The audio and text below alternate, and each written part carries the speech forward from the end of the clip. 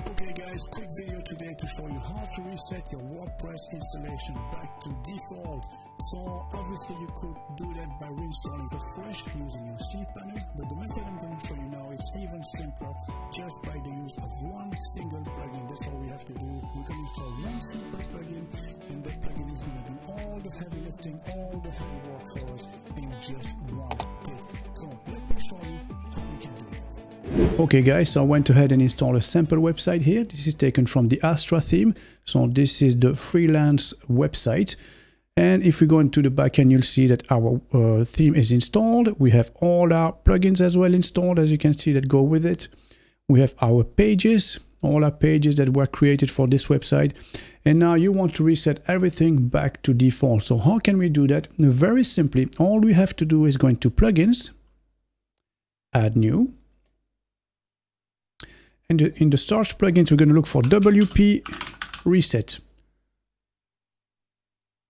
And as you can see, the first one here that shows up from Web Factory Limited, this is the one that we want to install. And it has over 300,000 active installations, so very reliable indeed and always up to date. So you can trust this editor uh, indeed. So we're going to click on install now. There you go, and then activate. And that's all for us now, so we can click dismiss. So the next step now is to reset our website. So the only thing we have to do now is to head to the tools department right here and click on WP reset.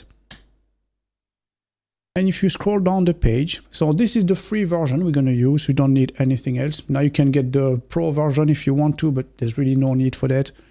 Uh, scroll down the page very easily and you can see here in that field all we have to do is type in reset. So you have to type it physically. So reset and then click on reset site. So just to show you again, this is what our website looks like. Let me refresh. So there you go. We have a perfectly fine website, but you want to restart it, refresh it, uh, and reset it back to factory settings. So do we do? Simply, we go back to our uh, WordPress dashboard and click reset. So let's do that now. Click reset. Obviously, we get a warning. Are you sure? Yes, we want to reset. So click on the red button now. Reset WordPress. And now it's doing its thing. So depending on how much content you have on your website, it might take a bit longer. Here was fast enough because it was just a, a simple demo, obviously, you know. So now let's head back to our website and refresh again. There you go. So now, as you can see, we're back to our 2021 default theme that comes with uh, WordPress.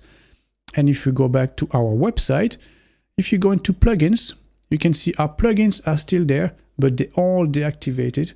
So all we can do basically from here is just select them all and then we can delete. There you go.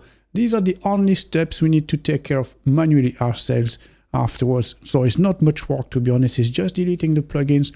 And if you want to get rid of your theme, is the same as well. So you go into your themes sections, click on this, and then click delete. Okay. And there you go. In just a few clicks, you're now back to default. So very easy to use indeed. So now let's go and have a look at our pages as well. As you can see, all we have is our sample page and is the same with the post. So basically everything is back to default.